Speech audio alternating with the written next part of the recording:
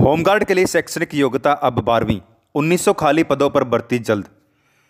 अब बारहवीं पास ही होमगार्ड की भर्ती हो सकेंगे। सरकार इनकी शैक्षणिक योग्यता को दसवीं से बढ़ाकर बारहवीं करने जा रही है। होमगार्ड के लिए बनाए जा रहे सेवा नियमों में इसका प्रावधान किया गया है।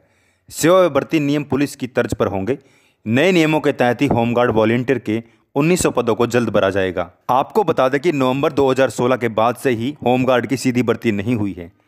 अंदर खाने ही होमगार्ड भर्ती किए गए हैं, जिसमें बीते कुछ वर्षों से भ्रष्टाचार के आरोप भी लग चुके उन्नीस सौ नब्बे के बाद से पक्की भर्ती नहीं हुई है। विभाग ने जनसंख्या के अनुसार होमगार्ड के दस हज़ार नए पद सृजित करने की मांग भी सरकार को भेजी है।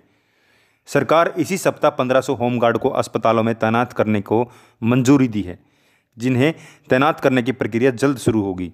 महानिदेशक होमगार्ड देश राज सिंह पक्की भर्ती के लिए भी प्रयासरत हैं। उनकी गृह मंत्री अनिल विज व गृह सचिव राजीव अरोड़ा के साथ बैठकें हुई हैं। मौजूद समय में कार्यरत बारह हज़ार होमगार्ड को पुलिस जवानों की तरह तीन तीन महीने का प्रशिक्षण दिया जाएगा। इसके साथ ही दो गर्म, दो ठंडी वर्दी टोपी, जैकेट, जूते भी इन्हें दिए जाएँगे। अभी तक इन्हें ये सारा सामान खुद ही खरीदना पड़ता था।